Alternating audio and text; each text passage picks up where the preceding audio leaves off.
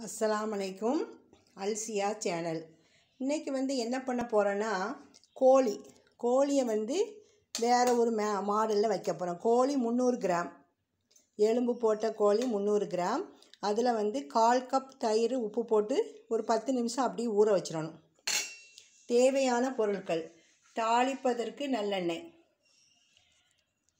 வத்தல் வந்து ஒரு நாலு உங்கள் காரம் உங்களுக்கு அதிகமாக வேணும்னா ஆறு வத்தல் வைங்க. ஜீரகம் மூணு ஸ்பூன். ஏலக்காய் மூணு கிராம்பு பட்டை. இவ்வளோ என்ன செய்யணும்? பெப்பர் வந்து பொடி வச்சுருக்கேன். ஒரு ஸ்பூன். இவ்வளோ வந்து வெறும் சட்டியில் வெறும் சட்டியில் எண்ணெய் இல்லாமல் வறுத்து இதை இப்போ நான் மிக்சியில் பொடி பண்ண போகிறேன் வெறும் சட்டியில் எண்ணெய் இல்லாமல் கரியாமல் லைட்டாக மனம் வரும்படி வறுத்துக்கிடுங்க. ஏலக்காய் பட்டை கிராம்பு வத்தல் ஜீரகம் பெப்பர் மிளகு வந்து தூள் போட்டிருக்கேன். இதை நல்லா மிக்சியில் பொடியாக பண்ணிடணும். தயிர் வந்து நான் சொல்லிட்டேன் ஊற்றியாச்சு சின்ன தக்காளி ஒன்று பாதி மூடி எலுமிச்சப்பழம் ரொம்ப இலை தாளிப்பதற்கு. இஞ்சி பூண்டு பேஸ்ட்டு. ஏலக்காய் வந்து ஏற்கனவே வந்து நான் இந்த வறுக்கிறதுல போட்டேன். பட்டை கிராம்பு மல்லி இலை தாளிப்பதற்கு கருவேப்பிலை சின்ன ஒரு குட்டியாக ஒரு வெங்காயத்தில் ஒன்றை நறுக்கி வச்சுக்கிடணும். இதுதான் தேவையான பொருட்கள்.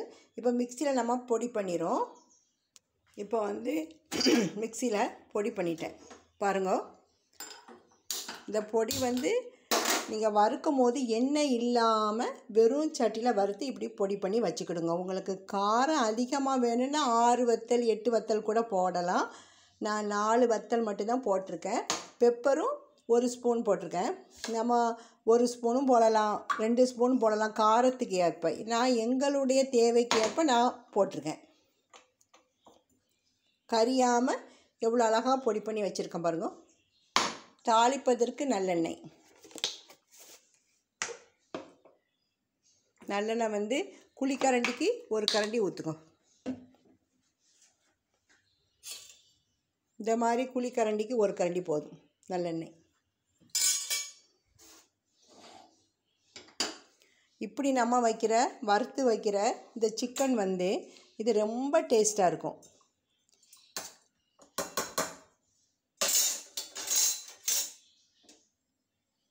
ஃபஸ்ட்டு பிரிஞ்சி இலை கருவேப்பிலை பட்டை கிராம்பு எல்லாம் போட்டுறணும். ஏலக்காய் வந்து நான் பொடியோடு போட்டு வறுத்துட்டேன். பாருங்கோ. அதுலேயே ஒரே ஒரு வெங்காயம்.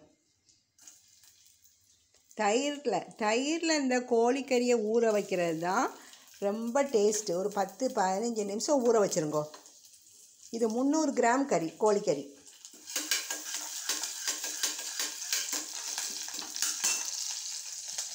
இஞ்சி பூண்டு பேஸ்ட்டு வெங்காயம் வந்து ஃபஸ்ட்டு போடுறதுக்கு காரணமே இஞ்சி பூண்டு பேஸ்ட்டு குக்கரில் வந்து ஒட்டாமல் இருக்கும்.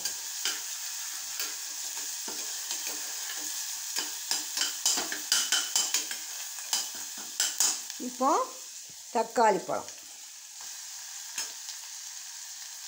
புதினா மல்லி இலையை வந்து நீங்கள் கோழி வெந்ததுக்கு பிறகோட போடலாம். கோழியோடய நீங்கள் போட்டு வைக்கலாம். அது உங்கள் உங்கள் விருப்பம்.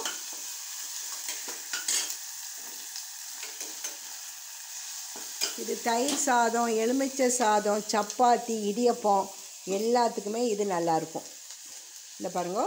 இந்த பொடியை நான் எண்ணெயில் போட்டேன்.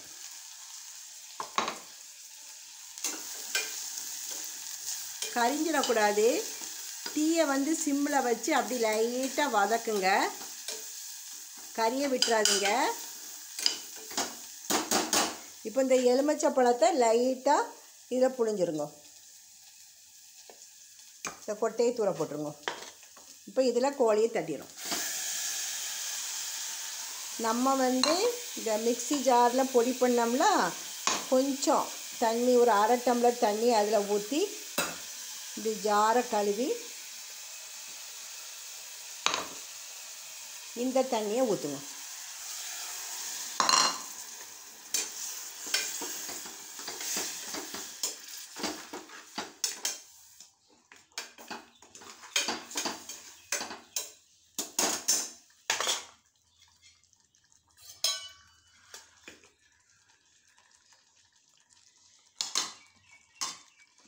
உப்பு கொஞ்சம் பத்தாது.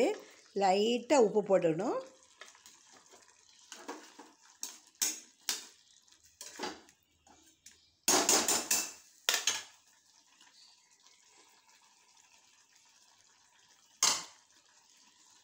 இந்த மல்லி இலை புதினா நம்ம இது இறக்குன பிறகு கூட நம்ம போட்டுக்கலாம். கோழி வெந்ததுக்கப்புறம் நம்ம போட்டுக்கணும்.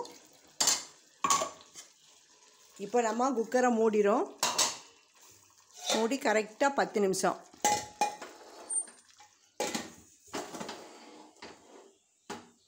பட்டன் போட்டு கரெக்டாக பத்து நிமிஷம். இப்போ நம்ம பத்து நிமிஷம் ஆகிட்டு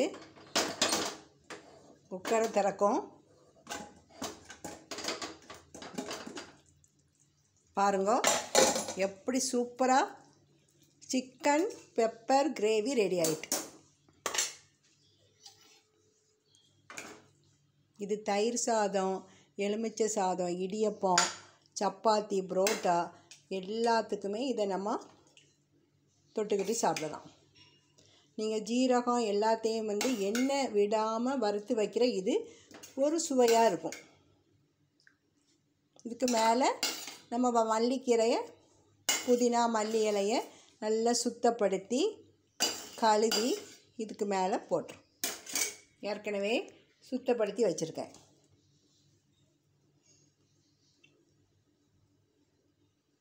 Pepper chicken gravy ready. தேவைன்னா கொஞ்சம் காலம் ரொம்ப இல்லை. லைட்டாக நெய் ஊற்றி ஊற்றியாச்சு விரவிக்கிடணும்.